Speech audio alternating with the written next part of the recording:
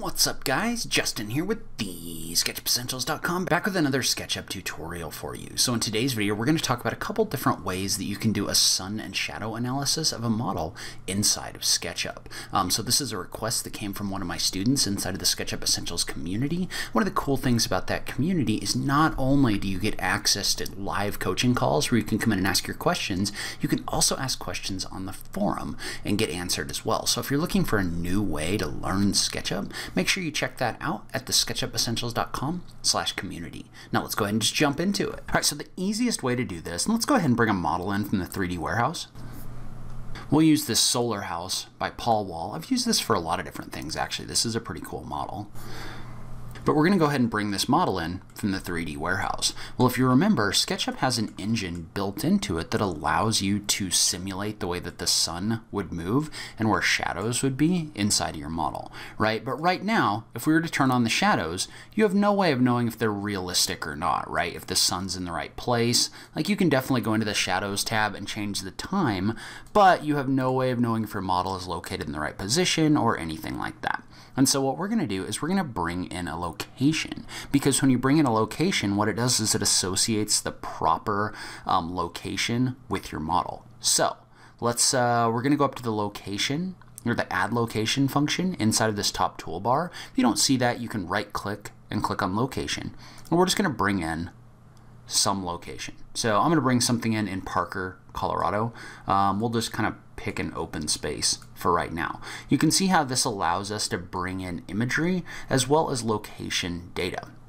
So we're just going to click on the button for select region. Um, remember with the newer versions, there is the DigitalGlobe data or the Nearmap data. The Nearmap data is that ultra high resolution stuff that you have to pay extra for, but it gives you a lot better um, final image. Uh, but we're going to go ahead and go with the DigitalGlobe for right now. And I'm just going to make this a little bit smaller. We don't want to make our, uh, we don't want to make our spot giant. So we're just going to click on import and that's going to import our site. Well then, what we can do is we can move our house model so that it actually aligns with where we think this is going to be in real life, right? So what this has done is this has brought this in and this has oriented all of the location settings so that they line up with your actual real world shadows. And so what we want to do is let's say this house was going to be placed maybe in the middle of this field over here, maybe up this road a little bit. So we'll go ahead and move this over here and let's say that our model was not going to face this direction, but instead it would face this direction.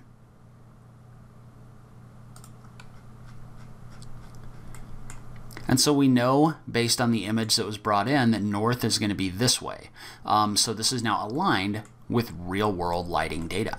Well now, what we can do is when we use the shadows, this is actually simulating real world shadows of where the sun would be located, right? So I can drag this over here, um, in and out, other things like that. And so this is actually going to simulate what the sunlight would look like on this object um, at 2.58 p.m.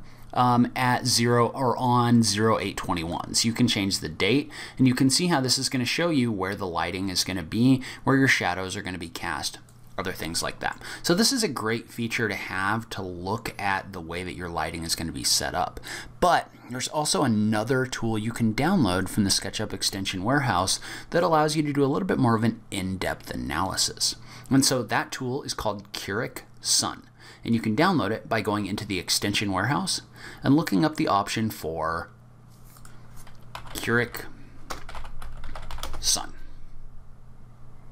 you can see how there's this option right here. You can click on it and you can download and install that. So that did tell me when I downloaded and installed it that it wasn't compatible with, or that it hadn't been tested for compatibility with SketchUp 2020. Um, I downloaded it anyway and it seems to be working just fine. You can just click on the install button right here. Note that you might get some kind of weird results on it um, depending on your version. It's just not 100% signed off, but it seems to be working okay. And so the way that it works, and honestly, there's not a whole lot of documentation for this extension, so I'm still figuring some of it out. But you can see how you have, to start off, you have these four different options, right? You have show hide shadow, show sun, test day, and test hour. Then over here you have a couple other options for setting center and setting sun. Well, what we want to do is we want to click on this second option. The first option just toggles your shadows on and off is all that it does. The second option is really where you can start making your changes.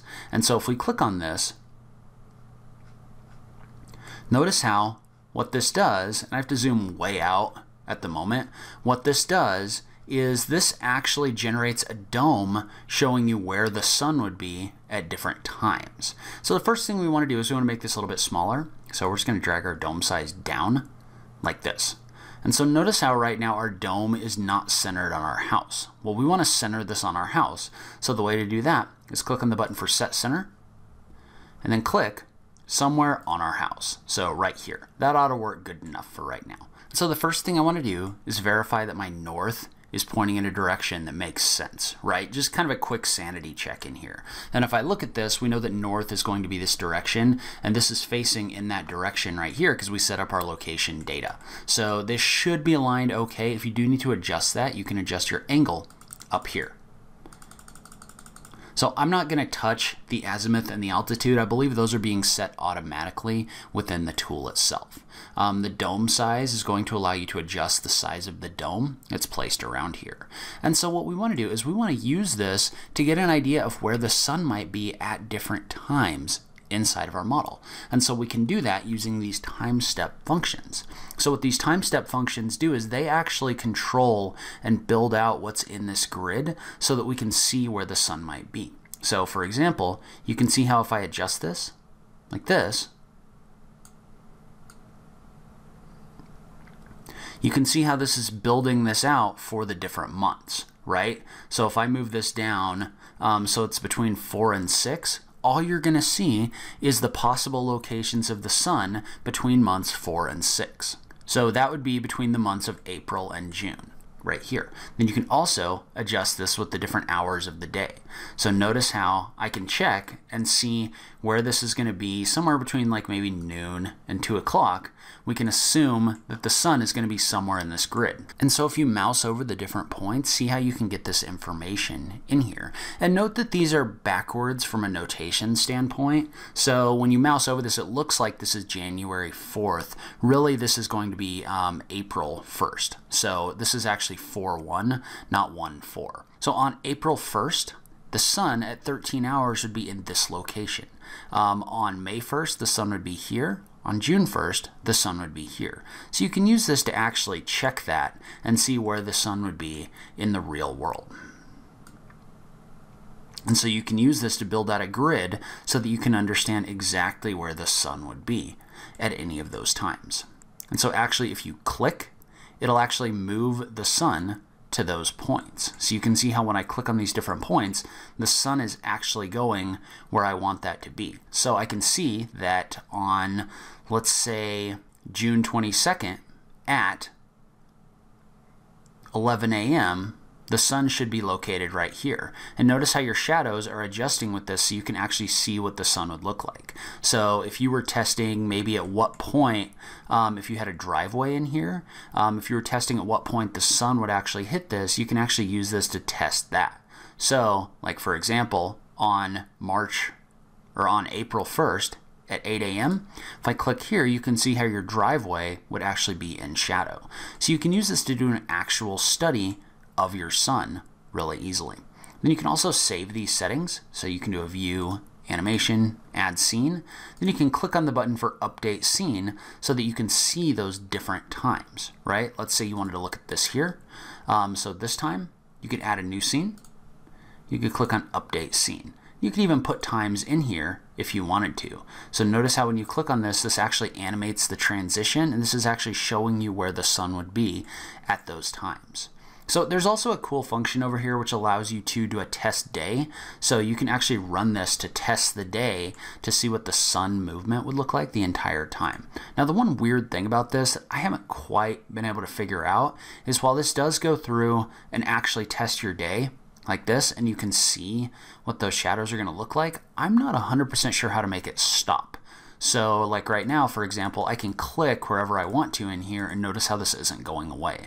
I think you might be able to toggle back to your select tool. Yeah, so if you toggle back to your select tool, then that'll make that stop doing that. And then to get it back, you can just click on show sun. But you can use that to test the sunlight for an entire day to see where your shadows would be at different points. And notice how down here this shows you what time this is. So right now this is at 8 a.m. and it's just going to go through an entire day and animate that out. Now, what you could do is you could set up a beginning of day and end of day scene and then animate that into a video if you wanted to. Uh, leave a comment down below if you don't know how to do that, and I can help you out with that. But see how um, what this is doing is this is simulating the sunlight for an entire day inside of the month of April.